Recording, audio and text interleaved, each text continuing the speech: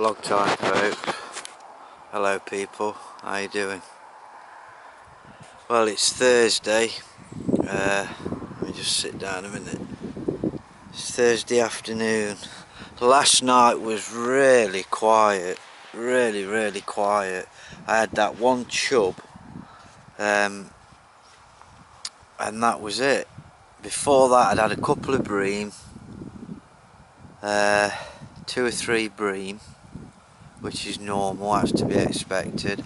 No barbel, no more chub. In fact, to be honest with you, after I'd had that, had that one chub, after I'd had them bream, that was it. It was almost like it was dead. I left my rods in last night for a couple of hours, up till about quarter past 12, half past 12. And I sat in the bivvy and put them on on the alarms. Um, but nothing.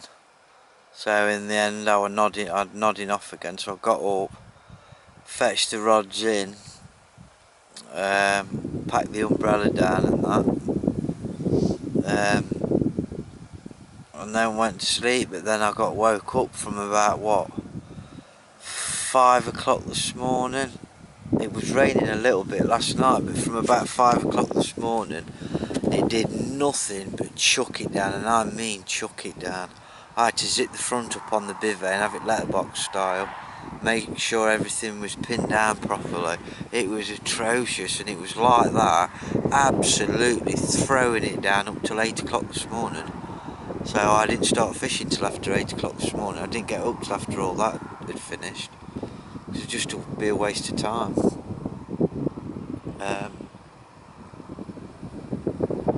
I think there's a boat coming and I'm to have to put my cart rod under the water. I'll, I'll just have to get back to you in a minute folks, hang on a minute.